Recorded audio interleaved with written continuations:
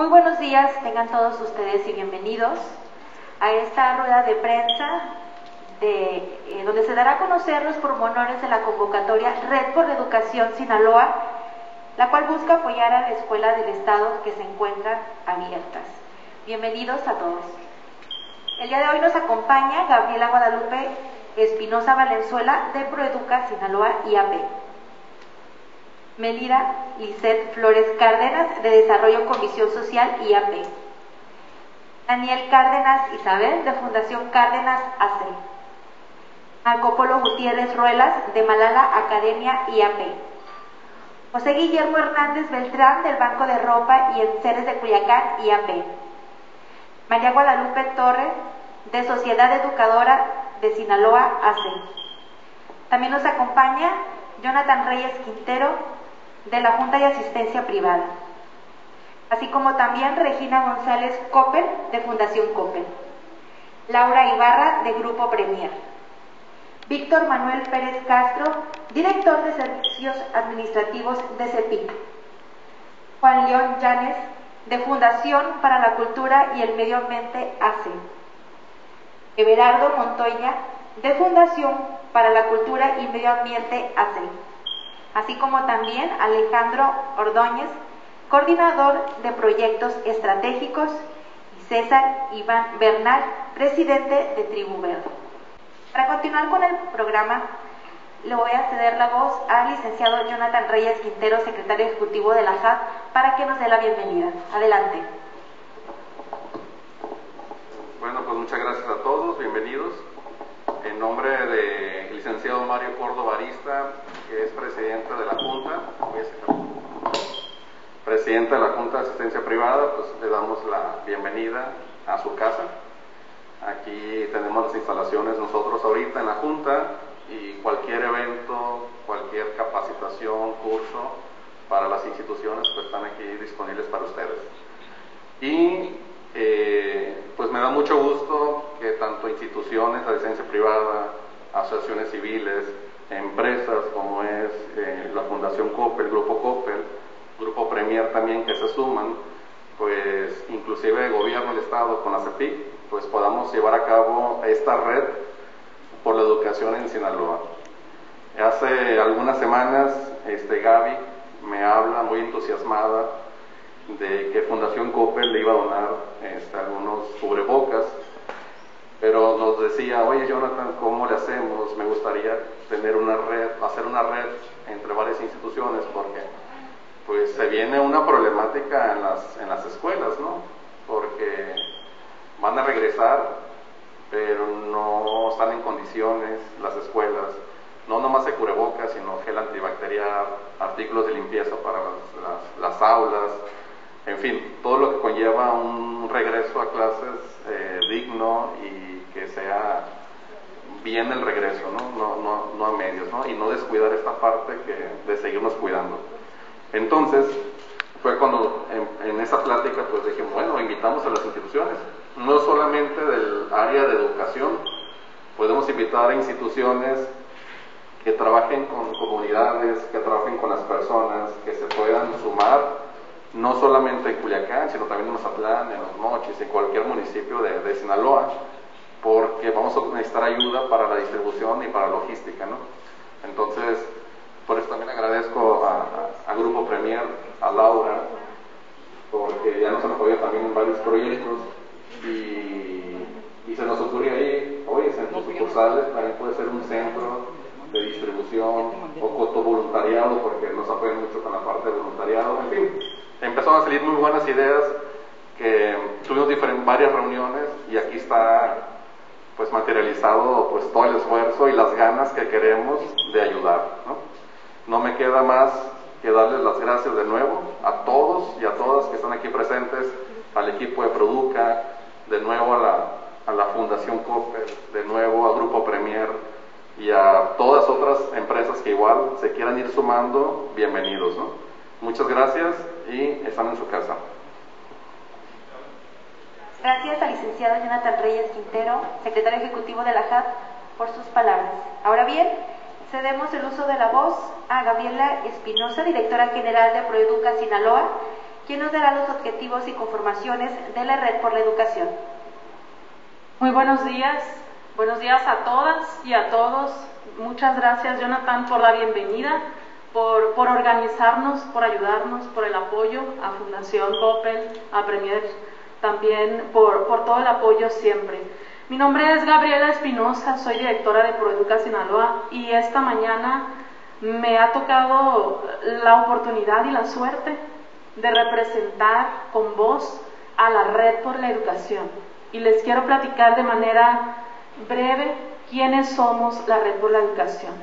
Estamos conformados por más de 12 organizaciones civiles, asociaciones civiles, instituciones de asistencia privada, que trabajamos en temas educativos, que trabajamos de cerca en escuelas, en centros comunitarios.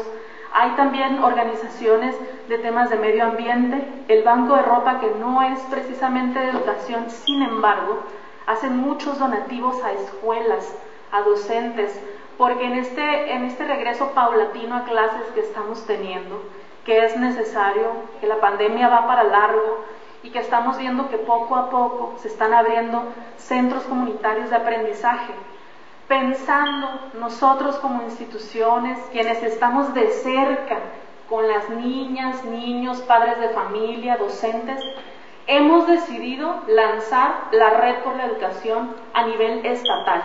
Esta red se conforma de organizaciones que, por ejemplo, está de Angostura, de Mochis, Mazatlán, Nabolato, somos varios los municipios representados y en este gran lanzamiento que estamos haciendo es una suma de voluntades en pro de apoyar el tema educativo en Sinaloa. Y la primera oportunidad que vimos para conformar esta red es un donativo que Fundación Coppel nos hizo de cubrebocas. El día de ayer nos hicieron esa, esa entrega a la red esos cubrebocas, nosotros como red, va a ser la primera acción que realicemos, eh, repartir esos cubrebocas, donarlos de manera gratuita en coordinación siempre con aquí presentes miembros de la Secretaría de Educación Pública y Cultura con quienes vamos a firmar convenio y vamos a trabajar de cerca como Red por la Educación. Eh, tienen ustedes al frente en la pantalla eh, los, los pormenores de este, de este donativo, las escuelas a nivel estatal, cualquier escuela que sea del nivel público, del sector público, de cualquier nivel educativo, podrá registrarse en la página de internet redporlaeducación.org. Esa página de internet es la página que nos representa, ahí van a encontrar toda la información pertinente a la Red por la Educación. Las escuelas pueden entrar, encontrarán un botón que dice registro de escuelas, si eres director, si eres maestro, si eres docente, puedes registrar a tu escuela aquí y solicitar hasta mil cubrebocas. Estamos pensando que este registro se haga a partir del día de hoy y hasta el día viernes 25 de junio. Las escuelas que soliciten los cubrebocas deberán ser centros comunitarios de aprendizaje. Nosotros vamos a estar coordinados con CEPIC para hacer la entrega. Asimismo, las entregas daremos un acompañamiento como organizaciones civiles para dar entrega de, esos, de estos cubrebocas. Toda la información la encuentran en redporlaeducación.org. Y la segunda y gran acción, que esta es una convocatoria, esta es la convocatoria por la educación es la principal acción que vamos a llevar a cabo como red y que estamos muy entusiasmados porque creemos que va a haber mucho éxito en ello. Como ya saben, las escuelas han estado abriendo poco a poco, van pocos niños, nueve por salón, máximo dos horas al día, dos veces a la semana, pensando en aquellas niñas, niños y jóvenes que su única oportunidad es el tema de la educación, que no tienen una tablet a la mano tan fácilmente, que no tienen una computadora, que batallan con el Internet, que han estado alejados de la escuela y la escuela es su centro de transformación. Estamos queriendo apoyar a esos niños que ya han regresado y que van a regresar poco a poco. Y la convocatoria es hacia las empresas, universidades, grupos ciudadanos. La Red por la Educación convoca a donar los siguientes artículos que se encuentran en esa pantalla cubrebocas de tela y o desechable de buena calidad, medidores de CO2, purificadores de aire MERV 15 o MERV 13, termómetros infrarrojos digitales, gel antibacterial de presentación en porrón principalmente, que son 20 litros, y jabón líquido para manos. Toda la información pertinente también se encuentra en redporlaeducación.org. Si son una empresa, un grupo, un grupo de universitarios, un grupo ciudadano, una organización civil que se quiera sumar a esta convocatoria, en esa página también podrán encontrar un botón que dice registro de empresas y grupos. Nos dejan ahí los datos y tenemos a una coordinación que va a dar seguimiento a esas solicitudes. Estas son las dos convocatorias, la primera para escuelas que soliciten los cubrebocas, aquí estamos la red para apoyarlos, y la segunda es convocatoria para las empresas, solicitamos su apoyo, sus donativos para las escuelas que se vayan abriendo, para quien así lo decida, para, para aquellos niños les digo que su oportunidad es la escuela. Es, esto es mi participación. Les agradezco a, los medios por la asistencia y a las organizaciones que forman parte de corazón y, y deseando que esto sea un éxito y nos ayuden a convocar hacia afuera a nivel estatal. Es mi participación. Muchísimas gracias a la directora general de Proeduca Sinaloa. Ahora bien, cedemos el uso de la voz a José Guillermo Hernández Beltrán, director general de PRED. Bueno, pues muy buenos días a todos. Eh, muchas gracias Gaby por la invitación. Gracias a la Junta de Asistencia Privada también por, por la iniciativa y siempre por, por tomar siempre la, la, delantera en este tipo de programas, en este tipo de iniciativas. Y gracias a las demás instituciones, a las demás organizaciones y medios de comunicación que nos acompañan, eh, pues nosotros estamos muy entusiasmados de poder estar aquí con ustedes. Eh, presento, mi nombre es Guillermo Hernández, soy director general del Banco de Ropa y Enseres Domésticos de, Culiacán. Eh, nosotros somos una institución que fue fundada en el 2007 por un grupo de empresarios, un grupo de empresarios sinaloenses, eh, que ven la visión de tener un centro de acopio en donde se reciban donaciones desde ropa, calzado, juguetes, artículos para el hogar, electrodomésticos, enseres en general, y desde aquí se distribuyen a las familias más necesitadas. Somos una institución grande que atiende los 18 municipios del estado de Sinaloa y la intención de estar el día de hoy con ustedes es pues por dos propósitos, ¿no? Eh, poner al alcance la infraestructura que tiene el banco de ropa. Nosotros tenemos una bodega de mil metros cuadrados. La intención eh, de apoyar en esta red es para poder poner a su disposición esta bodega como centro de acopio. Ahí nosotros podemos recibir, el día de ayer pues ya nos tocó recibir el primer donativo de parte de Fundación Coppel, Ahí nosotros estaremos apoyando con la recepción de donativos en especie. Entonces, por el espacio y la disponibilidad de, vehículos para la recepción y distribución, pues ahí está eh, la infraestructura del banco de ropa también eh, para apoyar en la distribución.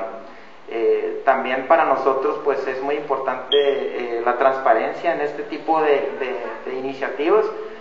como vamos a estar recibiendo donativos económicos también por parte de la red, eh, platicando con Gaby eh, durante la pandemia y en el inicio de la pandemia el año pasado, nosotros en el Banco de Ropa hicimos una iniciativa también para apoyar a los hospitales públicos del estado de Sinaloa, recibiendo donaciones económicas y donaciones en especie. Estas donaciones económicas pues se traducían en compras de insumos médicos para apoyar a los hospitales públicos. Entonces, en ese sentido, pues el Banco de Ropa también va a fungir como institución receptora de las donaciones económicas y para nosotros, como les platicaba, la transparencia pues es importantísima, dar a conocer los resultados, qué se hizo con estos recursos, a qué proveedores se les compraron, que sean proveedores confiables, que sean proveedores eh, obviamente bien establecidos, porque en este momento pues hay, mucha especulación con los precios, con los proveedores y con todo, ¿no? Entonces, para poder llegar a tener esta transparencia, eh, yo proponía pues tener un comité de transparencia que vigilara todas las compras, que fuera una decisión de equipo, que no recayera en una sola persona. Y pues para eso estamos aquí, para platicando ahorita con Marco Polo, para tener esta sinergia y apoyar entre todas las instituciones para poder garantizar este regreso a clases seguro de las niñas y niños de Sinaloa. Y pues nosotros encantados de poder colaborar aquí con ustedes. Muchas gracias.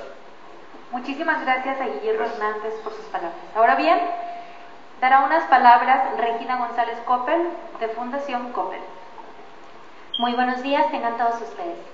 Es un placer para mí estar hoy aquí en representación de Fundación COPEL, en donde creemos que la educación es clave para el desarrollo de cada persona y el futuro de las sociedades. Hoy vivimos un momento decisivo para todos los niños del mundo. La pandemia ha provocado la mayor interrupción de clases presenciales a nivel mundial. El cierre de escuelas ha afectado a 1.600 millones de estudiantes en más de 190 países, según la Organización Mundial de las Naciones Unidas. Sin embargo, ante la emergencia y el cambio de la normalidad, los maestros y las familias han hecho todo lo posible para que nuestros niños y niñas sigan aprendiendo. A todos ellos nuestro agradecimiento y reconocimiento. Para Fundación Coppel es una prioridad impulsar las iniciativas a favor del desarrollo educativo. Estamos comprometidos a contribuir a que cuando sea el momento, y así lo dispongan las autoridades educativas y de salud, el regreso a clases sea lo más seguro posible para toda la comunidad educativa, que son los niños, maestros, directivos y padres de familia.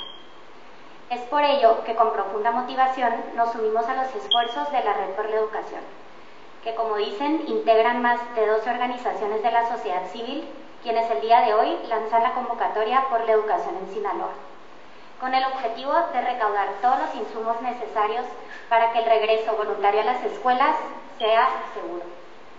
Considerando lo anterior, es un honor para mí anunciar que por cada peso que se recaude en esta convocatoria, Fundación Coppel va a aportar otro peso. Sin duda, la colaboración de la sociedad civil, instituciones públicas y privadas en proyectos que contribuyan al aprendizaje de nuestros niños y niñas aporta a la construcción de un mejor Sinaloa. Muchas gracias. Muchísimas gracias a Regina González Copper de Fundación Copper por sus palabras. Ahora bien, daré el uso de la voz Laura Ibarra, gerente de Cultura Organizacional de Premier Automotriz. Buenos días. Bueno, pues eh, muchas gracias, eh, gracias a la Junta, gracias a Proeduca, a nombre del director de Primera Automotriz, el ingeniero Gilberto Aispuro Fernández, pues para nosotros es un gran honor y siempre será un placer apoyar las iniciativas de Proeduca. Mi director los trae en su corazón. me dijo, me dijo, eh, me lo encargó. este, ya tenemos años con historia, con, la, con la institución en Premier pues respaldamos las actividades, la transparencia que siempre ha desempeñado esta institución. Eh, a nosotros nos ha alegrado eh, a lo largo de los años participar con ustedes a través de voluntariado, con las iniciativas directamente en las primarias este, y en lo que podemos, en lo que podamos siempre. Entonces, eh, el día de hoy, pues que estamos aquí por la Red por la Educación, una iniciativa grande, una iniciativa que tiene eh, que es ambiciosa, es una iniciativa que yo creo y con la convocatoria que tenemos aquí en instituciones, que claro que lo vamos a lograr y claro que vamos a poder eh, garantizar un regreso eh, seguro para los niños. En las juntas previas que tuvimos a esta rueda de prensa salieron por ahí varias historias de cómo es que los niños están viviendo el regreso en las escuelas y es importante y muy fundamental por lo menos el tema de seguridad lo podamos nosotros garantizar como sociedad, como parte de la comunidad en la que convivimos, porque son nuestros niños y son los niños que van a salir adelante tarde o temprano y que además ya estuvieron un año en casa, nos toca que su regreso sea lo más natural, lo más seguro, que puedan eh, esta transición lograrla. Y nos toca a nosotros, como instituciones, como empresa, como institución de, salud y de educación, pues otorgarles eso. Entonces, a nombre de Premier Automotriz, estamos comprometidos en temas de difusión donativos y en temas de distribución, si así no lo permiten, este, poder contribuir con esta causa. Muchas gracias. Muchísimas gracias a Laura Ibarra de Premier Automotriz. Ahora bien,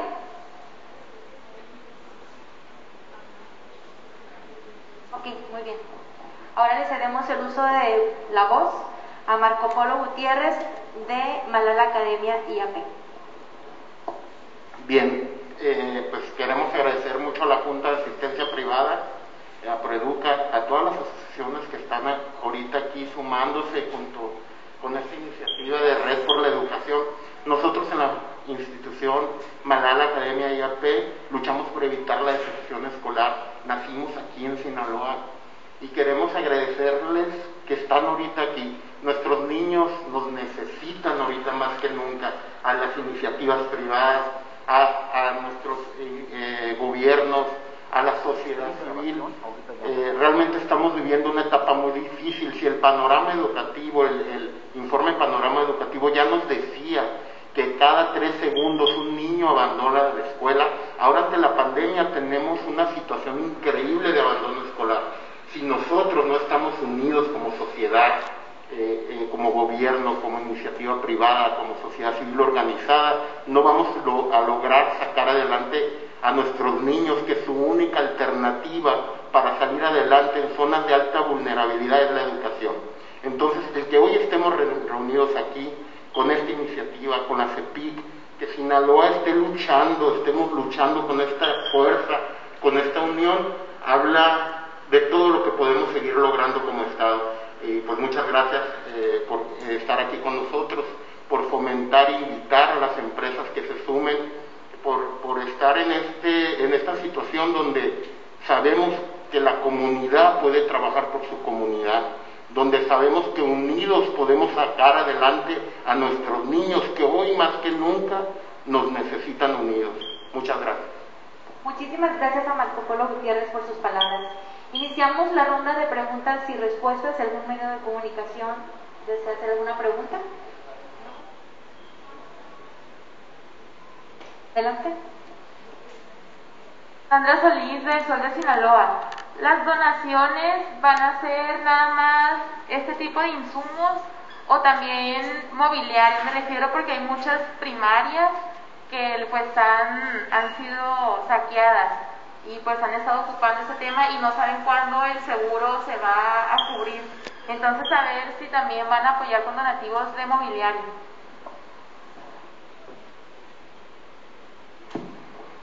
Eh, para responder tu pregunta es sí, bueno, yo creo que varias de las instituciones que trabajamos aquí durante todo el año hacemos esa labor. Eh, específicamente nosotros, como les platicaba en el banco de ropa, pues siempre nos llega desde pintura, este, mobiliario, eh, por ejemplo. Entonces, si hay alguna empresa que se quiera sumar, la invitación está abierta. La intención es fortalecer a la educación de las escuelas públicas en el estado de Sinaloa. Entonces, sí, la respuesta es sí, si hay alguna empresa, eh, eh, igual la, invitación a la sociedad en general a que se sume, si quieren donar, adelante. Además de esto, pues digo, ojalá pudieran donarnos también detergentes, artículos de aseo personal, este, que también son muy necesarios como cloro, este, jabón líquido para baños, además de los cubrebocas obviamente que van a ser muy necesarios. Muchísimas gracias. ¿Alguien más tiene alguna pregunta?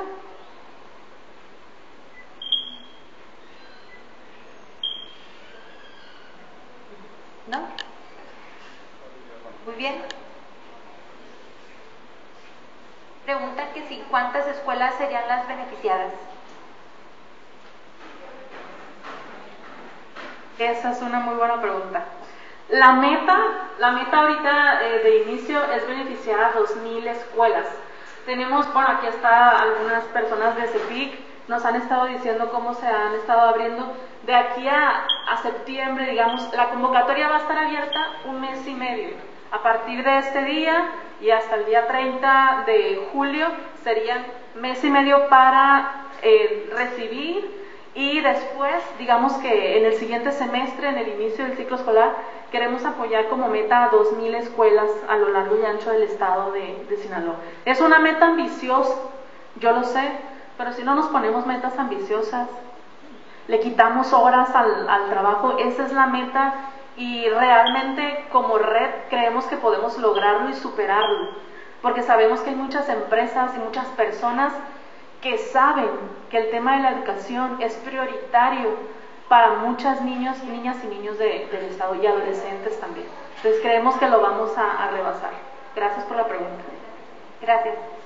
Buenos días, Jimena Valenzuela de Radiograma Sinaloa. Nada más preguntar eh, que si nos puede reiterar, son centros comunitarios de aprendizaje y escuelas públicas. ¿Es esta red o nada más son los centros comunitarios? La red está conformada por organizaciones civiles únicamente. Somos más de 12 organizaciones civiles de todo el estado de Sinaloa. El apoyo que estamos solicitando es para otorgarlo a los centros comunitarios de aprendizaje que actualmente se encuentran abiertos y para los que se van a abrir el siguiente semestre cuando, cuando las autoridades sanitarias así lo digan. Nosotros vamos a ser muy respetuosos. Conforme se vayan aperturando las escuelas, la red tenemos ese objetivo y esa visión de ir apoyando las escuelas que se vayan aperturando. ¿Alguien más tiene alguna pregunta? De no ser así, damos por terminada la rueda de prensa, sin antes agradecerle y desearles un excelente día.